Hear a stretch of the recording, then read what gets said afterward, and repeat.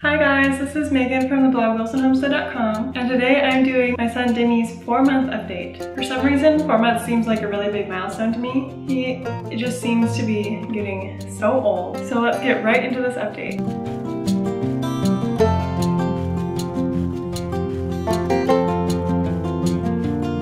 Dimi has a tooth. He actually almost has two teeth. He got his first tooth when he was about three and a half months, which is insanely early. And then now he, I'm filming this a little bit late, so he is a little over four months and he is just getting his second one. But that is just ridiculously early. I remember when Sophia was around three months and I thought for sure she was teething because she was so grumpy and drooly, but then she didn't get a tooth until she was like nine months old. But he got a tooth at three and a half months. I just cannot believe it. That's just crazy. And he bites. And I don't know how to teach him not to, but by the time Sophia had teeth, she was done breastfeeding because my nose dried up when I got pregnant with him. So I actually haven't ever experienced this before. the biting though is not super fun, but I'm sure we'll figure it out. I actually need to get him a teething necklace soon because he seems to be in quite a bit of pain from his teeth. He's still such a chill guy though. He does hardly complain at all, but I can tell from just his facial expressions that his teeth are hurting him sometimes. So I'm gonna order one of those Baltic amber teething necklaces that Sophia has, and that has worked really well for her. I've been very impressed with how those teething necklaces work. So we need to get one for him very soon. So I'm just editing this video and I realized I forgot to tell you how much he weighs. He is almost 16 pounds now.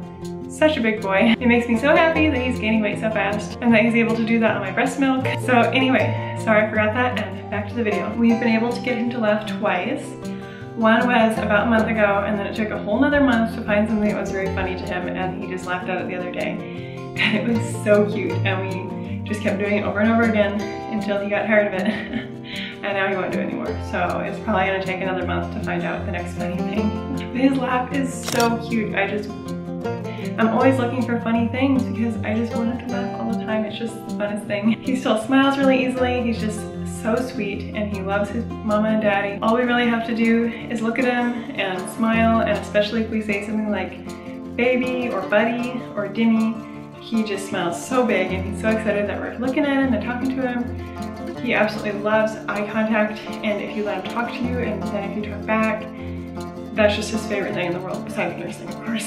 he has all these big conversations with us. He just gets super into it and he's very passionate about what he talks about.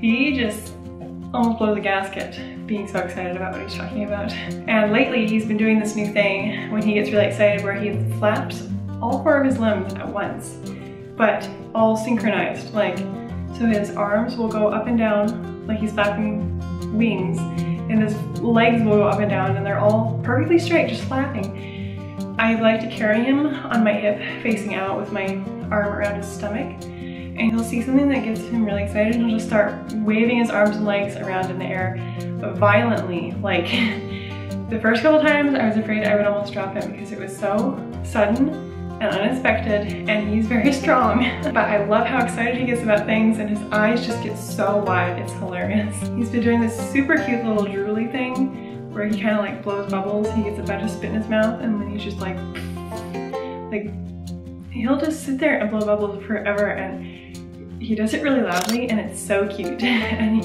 he, he ends up making a huge slobbery mess all over his face because it like splashes up on his forehead and like everywhere. But I think it's the cutest thing ever that he's like learning how to do different things with his mouth and different sounds he can make and it's just adorable even though it makes a big mess. He is kind of going through his four month regression.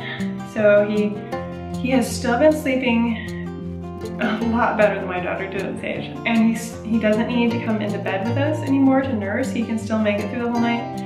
I just have to replace his binky more often, which is perfectly fine with me. Like that's really not bad. Last night he did come into our bed because I just didn't feel like worrying about putting the binky in, so I just nursed him and we snuggled until it was time to get up, but it was almost morning anyway. But whenever he starts stirring during the night, I just have to replace his pacifier and then he's good to go for a while longer, which I feel like is amazing for his age, even though this is sleep regression, it's still crazy to me how good he's doing. It does take him a long time to fall asleep at night. I always aim to get him in bed around 8, but usually he doesn't actually fall asleep the night until 10. So it's been kind of a challenge because I let myself go to bed until I clean the kitchen. I've been trying to do my kitchen cleaning before I even start getting him ready because once I start getting him ready, it's like a big long process. So I'm hoping that that's mainly because of the sleep regression and the teething. But if you guys have any tips for how to get your babies to sleep faster, I would love to hear them because it's a little frustrating, but I know it'll probably pass and he'll kind of get the hang of it again, but it kind of makes the whole evening crazy. His main issue with the regression is during the day. He's been very, very grumpy for the most part and not taking very good naps. He still takes most of his naps in the wrap. That's when he sleeps the best and as you can see, he's so cute. Normally, before the regression, I could set him down for a pretty long stretch while I took care of Sophia or did some housework or something that was a little hard to, harder to do with him in the wrap. And he would just be good to go for a nice long stretch. And now as soon as I put him down, he starts whining. He basically wants to be either in the wrap sleeping or attached to my breast all day long. And that's just not feasible when you have a toddler and you're running a business and managing a house. So he's just had to learn to get over it some of these times because I just can't hold him all the time. But it's been good for him even though it's really, really hard for me to let him complain for a little while while I just finish my task and then go get him. And I actually think he's going through a growth spurt as well. I don't know if it's connected to the four month regression, but he, as I said, wants to nurse all the time. But it's just been a little more difficult to get stuff done with the toddler and the baby going through a little bit of a regression but we're figuring it out and I know that all these things are just phases and that pretty soon we'll be back to normal and then else will change. Things with babies always seem to happen in short little phases and that come and go and so I just try not to worry about it at all. So the first nap of the day he does take by himself. I will nurse him and then swaddle him up and then I just bounce on our exercise ball to get him to fall asleep. Then I'll put him in the bassinet. He actually naps in the bathroom because that's one safe space downstairs that Sophia can't get to him. So I'll close the door and I just turn on the fan that's in there for a little white noise and that's just worked really well. But he takes his first nap by himself so I can do my yoga for the day. And then after that, he just sleeps on me for all of his other naps, which vary from like two to four naps approximately. I don't really keep track and I don't really have him on any sort of a schedule. I just kind of try to notice if he's looking tired or hungry and we just totally roll with it. I do not keep track at all. I'm just guessing he takes somewhere around two to four minutes. But I hope you guys enjoyed his four month update. If you're interested in seeing other motherhood content or pregnancy, birth, all these things I'm passionate about, head over to my channel and subscribe and I'm excited to have you here. I also have a blog where I post a lot of recipes and tips and then I also have a podcast so I will link all the things down in the description box below. But thank you for watching and I'll see you in the next video. Bye.